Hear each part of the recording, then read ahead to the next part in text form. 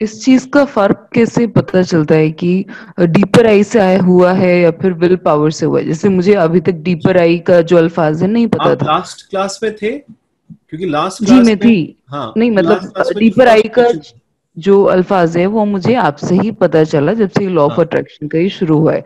उससे पहले शायद मुझे वो टर्म विल पावर के तौर पर ही पता था। हाँ. तो मुझे ऐसा लगा कि शायद कई बार ऐसा होता है कि आपकी विल पावर ही आपको आगे लेके गई। मेरे साथ ये कई बार हुआ कि जैसे टाइफाइड रिपीट में हो गया तीन से चार बार हो गया और बॉडी गिव अप कर गई। और फिर आ, मुझे लगा कि नहीं यार अब इससे मैं कैसे बाहर निकलूं? तो मुझे लगा कि चलो हिमालय की one of the top peaks ना क्लाइम कर देते हैं। क्लाइम कर लेते हैं लेट्स डू इट तो वो विल पावर ही थी जब बॉडी उतना काम नहीं कर रही है तब भी इंसान छह हज़ार मीटर्स का जो माउंटेन है तब भी आप वो क्लाइम करते हैं then once you return typhoid is no more वो मैं अब जैसे अब थोड़ा सा रिविजिट कर रही हूँ तो अब थोड़ा सा कंफ्यूज हूँ कि वो विल पावर थी या फिर डीपर आई थी क्या था वो। हमने लास्ट क्लास में फ़र्स्ट सेशन के अंदर ही जो फ़र्स्ट क्वेश्चन था उसमें यही था कि हमसे एक क्वेश्चन पूछा गया कि कैसे पता चले कि डीपर आई कहाँ है और ईगो कहाँ है। और आंसर यही था कि सबसे पहली चीज़ होती है अवेयरनेस कि हम जैसे अवेयरनेस में आ जाते हैं तो हमको पता चल जाता है कि वो जो चीज़ हो रही है वो मेरे माइंड से नहीं हो रही है।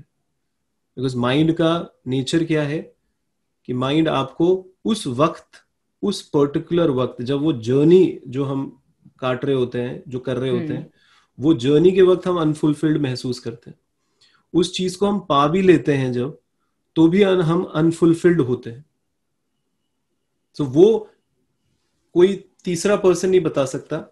वो हम लोग ही उस पॉइंट पे ऑब्ज़र्व करते हैं और हम माइंड से फ्री तो नहीं हो सकते माइंड को सिर्फ़ अवेयरनेस में ला सकते हैं कि देखो, ये ईगो जो है, मेरे पे थोड़ा हावी होता है बेसिकली और डीपर आए, ठीक है, हो सकता है पहली बार आपने मेरे से सुना हो, पर इस वर्ड को बहुत अलग अलग तरीके से बहुत सारे लोग यूज़ करते हैं।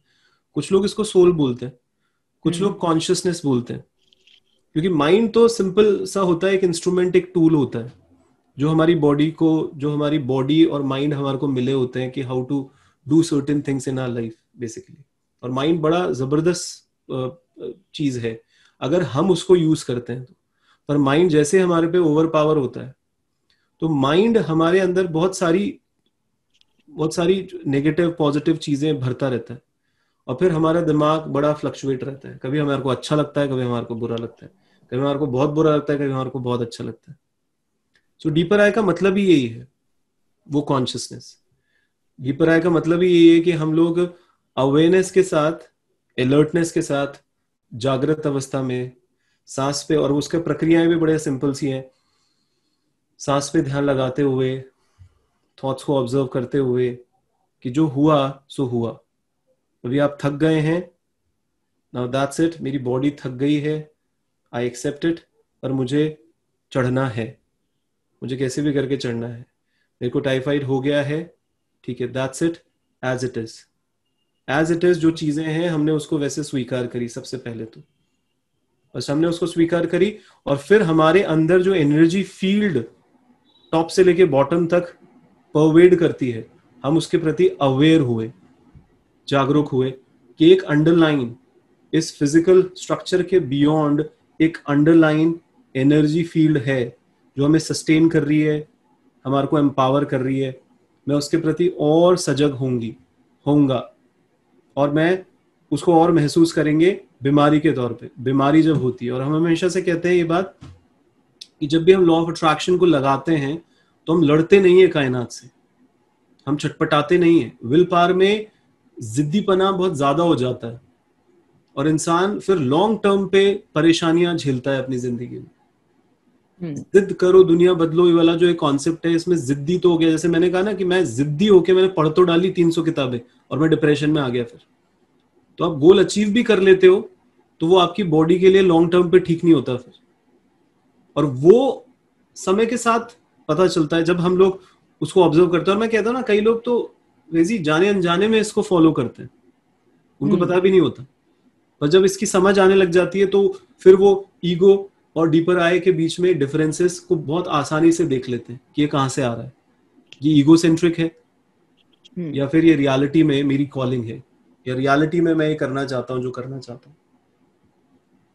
जैसे कई लोग आप तो जानते होंगे मैं तो कोच हूँ कि तो मेरे पास तो रेगुलर बेसिस पे आते हैं। कि वो एवरेस्ट पे भी चढ़ना है तो इसको ईगो वर्ष बनाते हैं अपना गोल जी चढ़ भी जाते बहुत ego driven goal ego driven होते हैं। वो उस प्रोसेस के दौरान भी चिड़चिड़े होते हैं वो पहुँच जाते हैं तो भी चिड़चिड़े होते हैं उनका इंटरव्यू लेकर बोल रहे हैं तो भी वो कुछ और और उधेड़बुन में लगे हुए कि अब मैं कुछ और करता हूँ। तो मतलब वो हम्म। कोई भी चीज़ उनको फुलफिल नहीं कर रही बेसिकली वो एक्साइटमेंट वो जो एक इनर पीस है और हम जो ये कोर्स की जो टैगलाइन है कि आपको पीसफुल सक्सेसफुल बनाना है वो फील ही नहीं है कहीं पे। वो लोगों के अंदर होता है। वो ईगो ड्रिवन चीज़ें हैं फिर बेसिकली थैंक यू